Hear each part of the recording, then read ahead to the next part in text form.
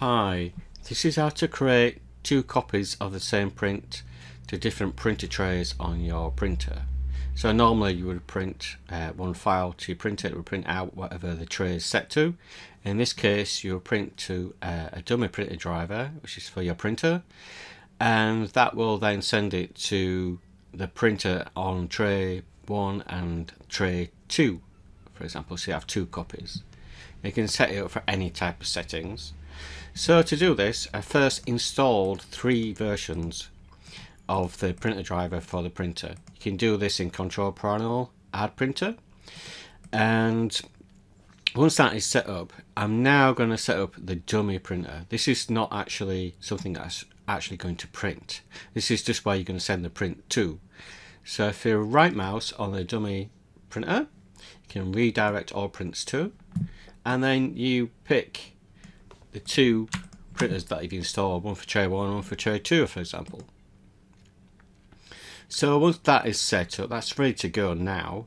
But I can show you how I set up the uh, tray 1 and tray 2. If you just double click on the printer, go into printer properties, and then go on to advanced.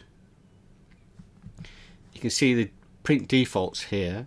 You can set it up for tray 1 for example. And you can then do the same for the other one for tray 2. So go to printer, properties, remember to go to advanced, printing defaults, and that's set up for tray 2. So now that's set up all ready to go.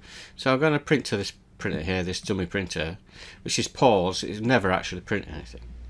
So to do this I'm just going to drag and drop a text file in there, This is a test. So you can see it show up there.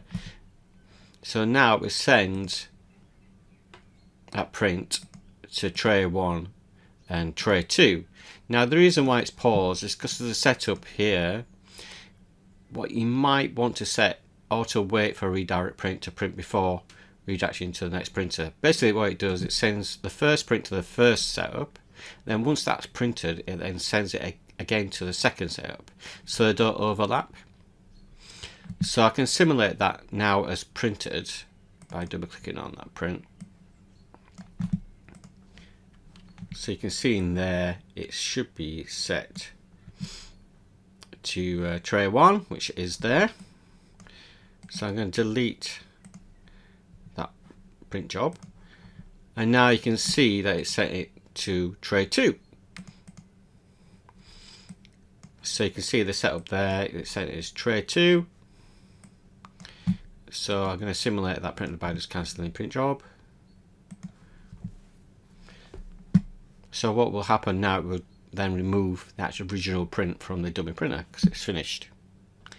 And you can do that with any number of prints. Obviously, if you want to risk doing the overlap because it's sending both to both drivers at the same time, sometimes it works, sometimes it doesn't.